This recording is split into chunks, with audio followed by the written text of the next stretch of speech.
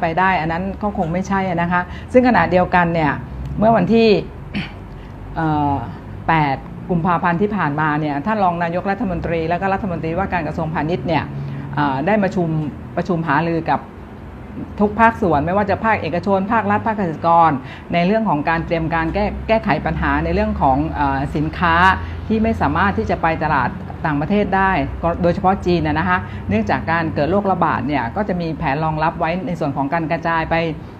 ตลาดภายในประเทศเพิ่มมากขึ้น แล้วก็ตลาดต่างประเทศโดยการเพิ่ม